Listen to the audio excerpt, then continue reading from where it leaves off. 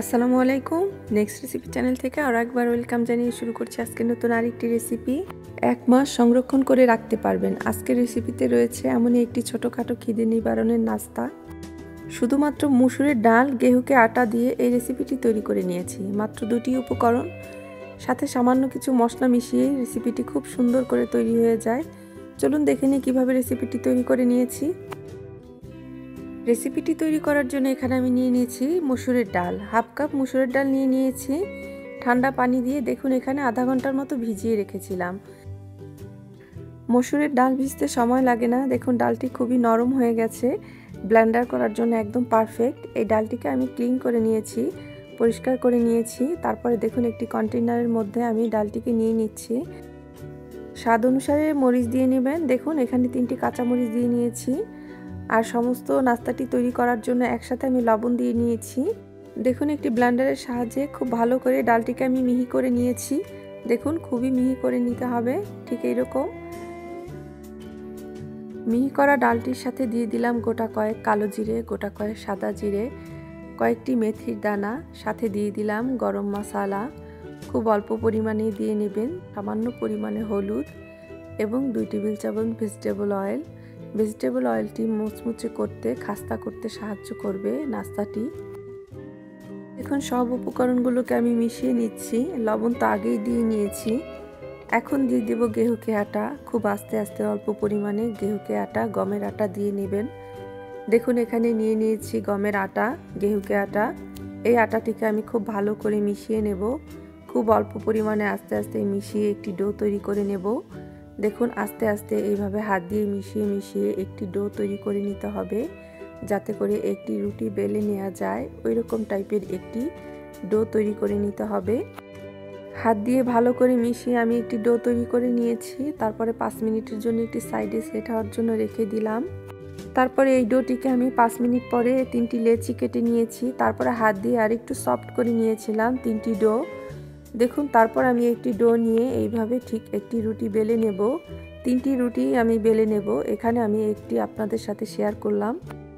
ঠিক এইভাবে আমি তিনটি রুটি বেলে নিয়েছি এরকম পাতলা করে। তারপরে দেখুন, একটি বাটির মধ্যে দুই টেবিল চামচ বাটার নিয়ে নিয়েছি। আর নিয়ে নিলাম কর্নফ্লাওয়ার। দেখুন, একটি ব্যাটার তৈরি করে নেব। এটি আমার নাস্তা তৈরি করার ক্ষেত্রে কাজে লাগবে। রেসিপি ভালো লাগলে অবশ্যই চ্যানেলটি সাবস্ক্রাইব করে নেবেন। পাশের বেল আইকনটি ক্লিক করে দেবেন।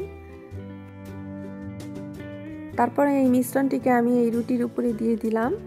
কর্নফ্লাওয়ার এবং বাটারের মিশ্রণটি এই নাস্তাটিকে খাস্তা করবে। দেখুন খুব ভালো করে হাত দিয়ে সমস্ত রুটির গায়ে এইভাবে লেপে দিতে হবে। দেখুন এইভাবে খুব ভালো করে আমি মিশিয়ে দিচ্ছি। তারপরে দিয়ে দিলাম আরেকটি রুটি। দেখুন এই যে উপরে আমি আরেকটি রুটি দিয়ে খুব ভালো করে রুটিটি মিশিয়ে দেব যাতে করে একটির সাথে আরেকটি লেগে যায়। তারপরে আবারও আমি মিশ্রণটি দিয়ে দিলাম। এভাবে হাত দিয়ে মিশিয়ে নিচ্ছি। খুব ভালো করে মিশ্রণটি হাত দিয়ে মিশিয়ে নিতে হবে। দেখুন, এই মিশ্রণটির উপরে আরও একটি রুটি দিয়ে দিলাম। তারপরে তিনটি রুটির একটি রুটি তৈরি করে নিলাম। একটি বেলুনের সাহায্যে এই তিনটি লেয়ারের রুটিকে একটি প্লেন শিট করে নেব। দেখুন, এইভাবে বেলুনের সাহায্যে আমি একটি প্লেন শিট করে নিচ্ছি। দেখুন, তারপরে একটি কুকি কাটারের সাহায্যে ঠিক এইভাবে নাস্তাটি আমি কেটে নিচ্ছি। ঠিক এরকম ডিজাইন করে কেটে নেবেন, ছোট বড় করে কেটে নেবেন। তাহলে তিনটি লেয়ার নাস্তার ভেতরে ভাজার সময় তৈরি হবে এবং খাস্তাও হবে, খেতেও মুচমুচে হবে। এক মাস সংরক্ষণ করে ছোটোখাটো খিদা নিবারণের জন্য এই নাস্তাটি একদম পারফেক্ট।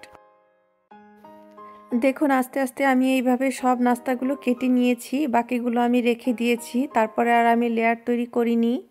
তারপরে দেখুন, ওই নাস্তাগুলো অন্যভাবে আপনারা তৈরি করে নিতে পারবেন। এখন দেখুন, এই যে যে নাস্তাগুলো আমি হালকা তেলে এই ভেজে নিচ্ছি, অল্প পরিমাণ তেল দিলেই এই নাস্তাগুলো ভাজা হয়ে যায়। চুলার আঁচটি মিডিয়াম টু লো হিটে রেখে এইভাবে আমি নাস্তাগুলোকে ভেজে নিয়েছি। কম বেশি করে দুটি কালার করে ভেজে নিয়েছি। দেখুন, সামান্য পরিমাণ গোলমরিচ গুঁড়া দিয়ে নাস্তাটিকে আমি সার্ভ করে দিচ্ছি।